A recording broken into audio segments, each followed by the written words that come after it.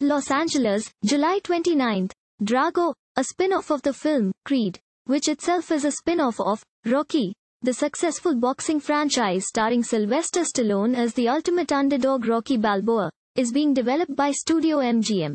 According to Variety, Robert Lawton has been hired to write the screenplay.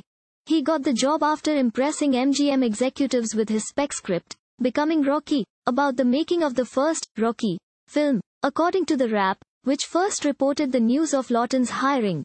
Though the studio didn't move ahead with his film idea, it appointed Lawton to build out a backstory about Russian boxer Ivan Drago, who took on Rocky in 1985's Rocky IV. His character's son, Viktor Drago, appeared in 2018's Creed II, stepping into the ring against another offspring of Rocky's rivals, Adonis Creed.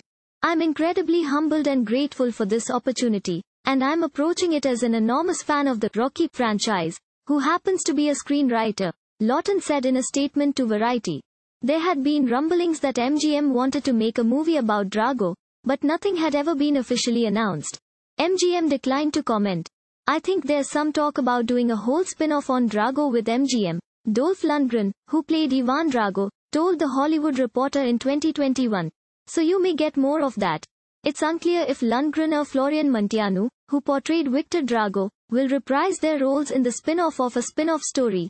Plot details are being kept under wraps. Before the Drago family story hits the big screen, Adonis and company will return in Creed 3, which is scheduled for November 23, 2022. Michael B. Jordan, who plays Adonis Creed, is directing the film in his feature debut. Munteanu, Tessa Thompson, Phylicia Rashad and Jonathan Majors co-star in the third, Creed, movie, which is the first, Rocky, film without Stallone at least making an appearance.